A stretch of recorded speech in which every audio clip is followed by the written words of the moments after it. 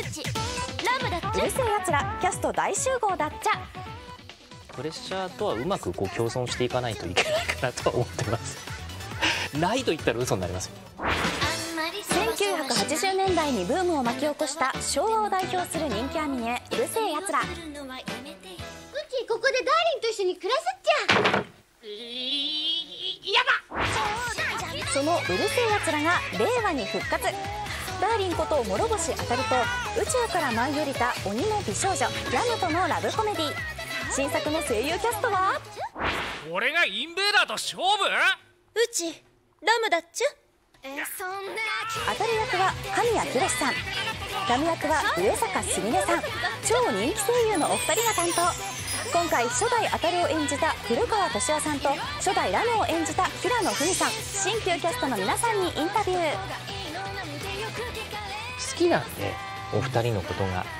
これが認めんっていう気持ちはあったんですけど声聞いたらあこのラムちゃんはこのラムちゃんでありだ私もそう思った、はいうん。あ令和のラムちゃんってこうなのあの絵だったらこの声なのねっていうね、こいつがうちの相手かよ。うちラムだっちゃまあでも頑張んなきゃっていうのも忘れちゃうぐらいやっぱアフレコが楽しいっていうかこうラムちゃんとして全力でダーリンを追っかけて電撃を放ってキュートさをいろんな人にまた見てもらえると思うとすごい嬉しいなって。僕はもう演技的にはまずうまい2人だってのは分かってるんだけどもあのそれよりもこの2人の人気ってすごいんですよね。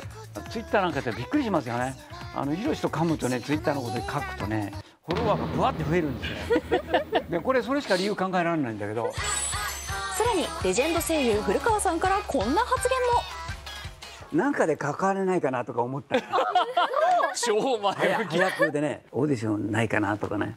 怖えな。ベテラン実は今回古川さんはあたるの父平野さんはラムの母を担当することが決定。